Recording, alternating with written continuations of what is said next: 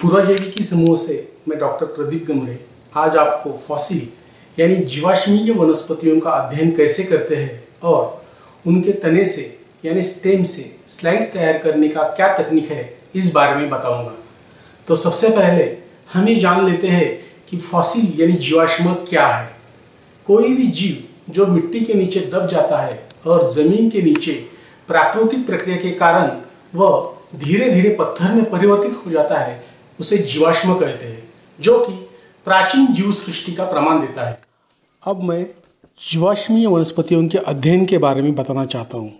यह एक जीवाश्मीय वनस्पति का तना है। इसका एनाटॉमिकल यानी आंतरिक अध्ययन हेतु सेक्शन यानी पतली स्लाइस लेना आवश्यक है। इसलिए ground thin section method and transfer तकनीक का उपयोग करेंगे। यह एक शक्ति चलित ऑटोमेटिक रॉक कटिंग मशीन है।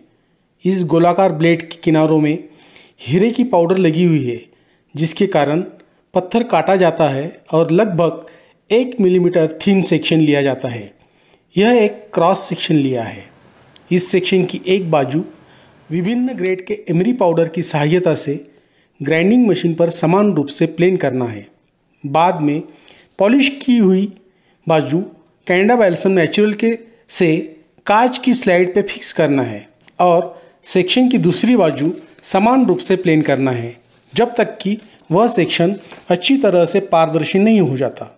इस सेक्शन को कांच की प्लेट पर पानी के साथ ज़ीरो ग्रेड एमरी पाउडर से इतना पतला करना है कि विशिष्ट आंतरिक गुण स्पष्ट दिखाई दे। उसी बीच समय समय पर माइक्रोस्कोप में निरीक्षण भी करना है।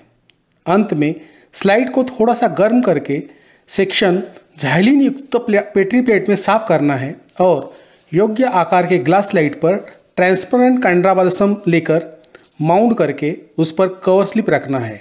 लगभग एक सप्ताह तक स्लाइड को न्यूनतम तापमान में सूखने के लिए हॉट प्लेट पर रखना है। जब हम स्लाइड का माइक्रोस्कोप के नीचे अध्ययन करें तो छोटे छोटे डॉट्स दिखाई देंगे, जिन्हें वैस्कुलर बंडल या संवहनी बंडल कहते हैं। इसमें जलवाहिनी और अन्नवाहिनी दिखाई देंगी।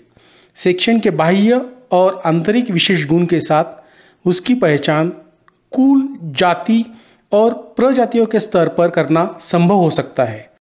जीवाश्मीय वनस्पति के प्राप्त डेटा के अध्ययन से पूरा मौसम, पूरा परिस्थिति और पूरा भौगोलिक स्थिति और जैविक उत्क्रांति आदि के बारे में जानकारी मिलती है। अतीत काल के वनस्पति के अध्ययन और विपुल होने वाले पेड़ जैसी वनस्पतियों की प्राचीनता का पता करने एवं पूरा पुनर्निर्माण में जीवाश्मी वनस्पतियों की भूमिका अहम है।